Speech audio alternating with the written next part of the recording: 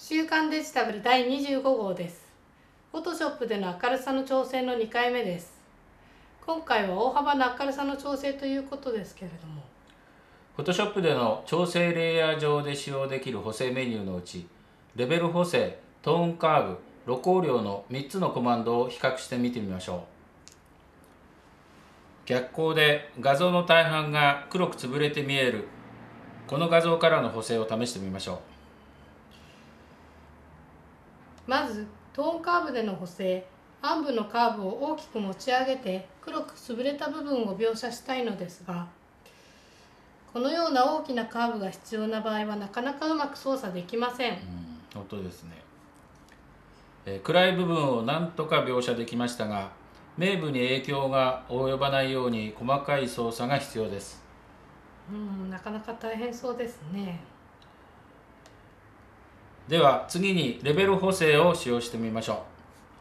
こちらでは入力スライダーの中央値を1から3に操作したのみで先ほどと同様の調整が得られました。言うなれば画像のガンマ値を操作したわけですが操作が簡便であるばかりでなくこのような大きな補正には画像の荒れや仕上がりの点でもこちらのやり方の方が良いようです。会長の滑らかさでもレベル補正の方が綺麗に見えます。ガンマ補正のコマンドはもう一つ露光量の中にもありますが表示されるガンマの値も同等ではないようでまたこの場合は補正もあまりうまく反映されていないようですなかなか画像が変わっていきませんね。上の露光量のスライダーはいじらないのですか？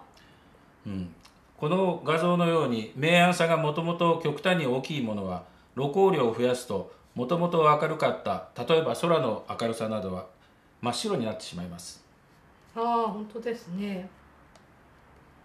トーンカーブや露光量は通常の適正露出の細かい調整に対しては大変便利ですがこのように露出補正の概念を超えたような大きな補正に関してはやはりレベル補正の必要性があると言えます、適材適所なんですね。来週はもう一つ。さらにちょっとした裏技的な調整についてお話ししましょう